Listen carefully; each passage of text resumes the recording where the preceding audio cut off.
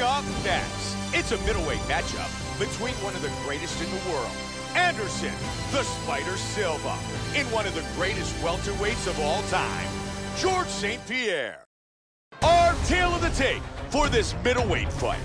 The Canadian is 32. The Brazilian is 40. He will have a one-inch reach.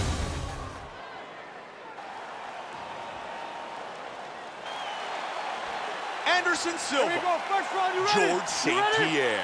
And here we go. Tonight's fight is scheduled for three five-minute rounds.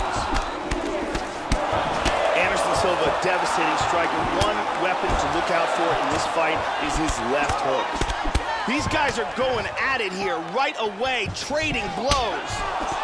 Nice hand. He just whips that punch in. That huge head kick was blocked. Silva with the good punch. Oh, he caught him. Georges landing some serious body shots. And he connects with the punch. Joe, that was a nice side kick. Body shots are becoming much more utilized in MMA, but it's one of the least used techniques that are very, very effective. Shot to the body. Very good job of timing these punches. Anderson. Oh! Wow! Oh, got nailed. He's hurt, Mike. That's him.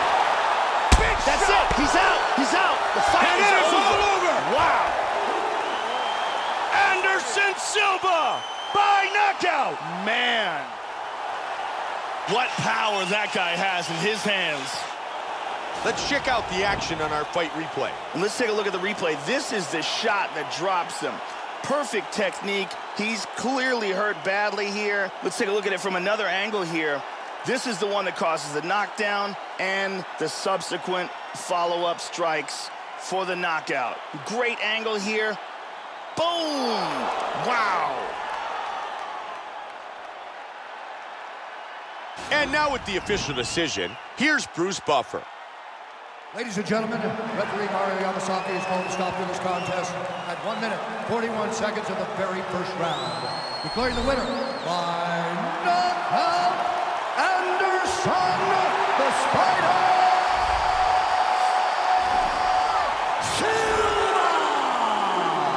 Anderson Silva, winner by knockout.